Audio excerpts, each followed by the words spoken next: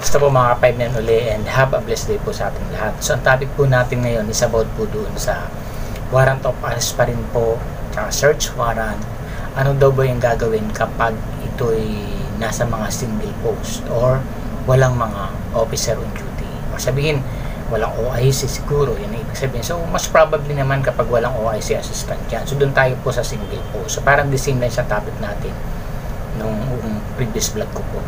So doon tayo sa single post, talagang given po yan na wala po talagang kasama yung guard. Halimbawa, dalawa lang po sila nagpapalitan. Yan, talaga crucial po yan. So ano yung mga dapat natin gagawin kapag dumating yung mga ganito? May dumating sa search warrant, warrant of arrest sa post ninyo, especially kapag yan ay mostly mga warehouse, mga vacant lot, kahit sa vacant lot yan, pwede may i-search dyan, di ba? So ano yung gagawin natin uh, pamamaraan para at least ma maintain natin yung protection ng client natin. So una, dapat po ang naka-assign na guardian, kinakailangan po meron kayong cellphone ng company, ng agency po ninyo. May ini-issue cellphone or kayong mga security binibigyan ng load ng agency para anytime pwede nyong tawagan. Or much better po talaga may sariling company po kasi baka mamaya si SG binigyan nga ng load ng agency, ginamit naman sa pag-ML na ubos ang load pag may emergency na hindi na makatawag. So dapat, kung sakaling kayo binibigyan ng load ng agency para for emergency po yan, gagamitin nyo lang po yan through uh, emergency. Huwag po kung kanin-kanino. Kasi baka may, siyempre, uso ngayon ang uncall. Tawag ng tawag ngayon yan. Sa mga iba-iba, ngayon may emergency na palang tumatawag ang agency, hindi kayo makakontakt. Diba? Kasi, eh wala eh. Iba yung tinatawagan ninyo, mga ganyan, di po ba? So dapat, for emergency lang dapat. So dapat talaga, mas probably talagang ano yan, mag-endorse ang inyong agency ng company phone na para gagamitin lang yung kung tatawag sila o mga emergency, kung tatawag sa kanila or any emergency lang. Diba? So yun, yun po yung dapat meron. Kasi para may mga tanong kayo, may mga queries na dapat masasagot nila. Kasi minsan may mga time na hindi naman talaga natin, tayo ang magdi-design. Siyempre the agency, kailangan talaga po natin yan. Pag sa level po natin, hindi natin kayang madesisyonan, back up po talaga ng agency dapat. So number one, meron tayong na company phone, may mga number ng inyong mga inspector, ng operation manager. Lahat po doon sa agency na kailangan matawag siya halimbawa hindi available si inspector si operation manager si OM so siya po ang tatawagan natin or susunod po sa kanya. Dapat through channel din po tayo. Meron kasi umanon tayo sa itaas hindi alam ng inspector natin.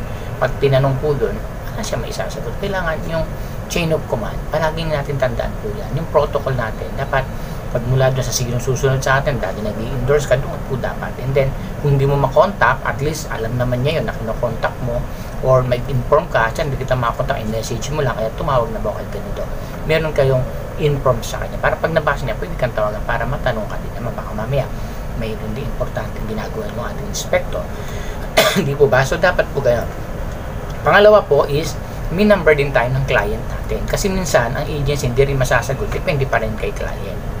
Kaya minsan, talagang mas probably yan, inuuna natin ang client na tawagan pag may mga ganyan. Kasi, eh, siyempre, minsan ang agency, itanong mo kay, ano mo, kay security manager mo, ano ba yung magiging ano dyan. Siyempre, hindi na description kasi ng agency yan pagka mga ganyan. Kung baga, tutuhin nila tayo ng backup nila. So, dapat, may number din kayo ng mga uh, in charge na security dyan po sa area ninyo. Kung sino yung nag-handle ng security po dyan. So, through channel din. Kung si manager, dapat may number kapag hindi mo makontak, yung sumunod sa kanya, at least 3 to 4 numbers dapat po meron tayo.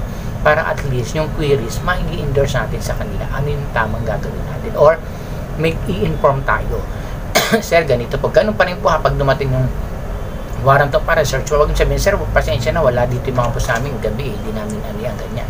Dapat, i-accommodate po natin ang maayos yan. Sige po, sir, uh, ganito na lang po ay inform ko lang po yung aking mga boss para po at least awin po sa nandito kayo at kung ano po yung gagawin ko may ma-assist po namin kayo ng higit na maayos po. Yan. So after po nun pagka may ano na sa inyo yan di, yun na may mga number kayo yun po yung gagawin para at least nai-in po natin bago mangyari yung gagawin ng mga magsaserve kung ano mang warrant po yan. Para at least tayo mga guard safety po tayo. Laging may backup. Kumbaga yung bola wag lagi mong hahawakan. Dapat ipapasa mo din Sila kasi yung in charge po dyan. Tayo, we have to assist. Kung ano yung sasabihin nila, kahit sabi mo, binili na sa'yo yan, upon ten, tenor over sa'yo, kailangan ganun pa rin po. On the spot, inform. So, yun po lagi dapat natin tatandaan. Next po, dapat isa pa, after po noon, dapat i-records po natin lahat ng mga scenario. Yung 5Ws in 1H, dapat po naandun yan para at least pag pinagawan tayo ng report ng management, madali po natin magkano sino pumunta, anong oras, siyempre yung 5Ws in 1H, dapat po kompleto po yan. Para at least pag gumawa ng report, mabilis na. At hindi nila ng mga data o kung ano man pang uh, kailangan nila sa atin na ando po dapat recorded po talaga yan. Okay, so yun po ang kailangan natin gawin mga makatulong po sa inyo kung ano yung gagawin ninyo just in case kayo mag-masen sa mga single post. At dapat po talaga isa pa, bago kayo mag-assume ng post ninyo, dapat may mga tanong na po kayo. Lalo kung mag-isa ka may iwan dyan, i-assign ka ng, ng agency nyo dyan, itatanong po ninyo. Plus, doon sa management, kung ano yung mga protocol na gagawin just in case po may ganito, may ganyan. Ano yung gagawin namin pamamaraan. Lalo po yung mga ganyan. Kasi po pwede tayong makasuhan dyan ng obstruction of justice kapag hindi natin na-serve ng tama na protocol doon sa magsaserve po niya. Lalo kung talaga namang positive yung area natin. Sabihin, talagang naandyan yung gusto nilang uh, mahuli, eh, ganun po talaga eh. Hindi natin mapipili kasi batas po. Kaya nga, tayo katulong tayo ng ating gobyerno na ma-serve ng tama na ma-secure yung safety not only for our company, including also the public, pero limited na po. I-assist lang po natin sila. Hindi po ba? So, ganun po, kailangan marunong po tayo dyan. Naintindihan naman po yan ng mga magsaserve. Alam po nila yan, yung description po natin. Kaya lang, we have to coordinate properly kasi hindi natin alam ang lahat ng magsaserve. Kung minsan, eh, may mga ano din po talaga, may mga senaryo na hindi ko masasabi kasi depende po sa sitwasyon. Kaya sa atin lang po, kung ano yung tramang protocol, yun na po yung gagawin natin. Palaging connect, especially to our agency kasi babakapan po tayo niya. Especially pag isa-serve na kailangan, may mag-a-assist. Kailangan ba ng barangay, ng kalapit na barangay ninyo o ng kalapit na police station na may hawak sa inyo, kailangan po yun. Kung talagang pagpe-penetrate mo sila sa area, dapat po hindi pwede ikaw lang ang mag-isa ang bahal. Ay, paano po, sino magbabantay sa loob? So, i-assist mo sa loob yan Di ba kailangan po talaga may backup po yan. Pwede, sir, saglit lang po at darating na po yung agency namin para po mag-assist na kasi hindi ko po pwedeng iwanin yung main entrance, baka makompromise naman po. Pwede yun. Pwedeng ma-delay na to the point, hindi natin sila pinang kasi sisecure pa rin natin yung Diba? So, ganun po ang dapat na proseso para po at least tayo mga security maging safe. Kasi ang aim natin, hanap buhay. Hindi tayo makompromise. Kasi nako-compromise tayo kasi hindi natin alam. So, dapat lagi nagtatanong, nagbabasa, nag-aaral na sa ganun po, ma-implement natin ng tama yung mga protocol sa ating area of responsibility.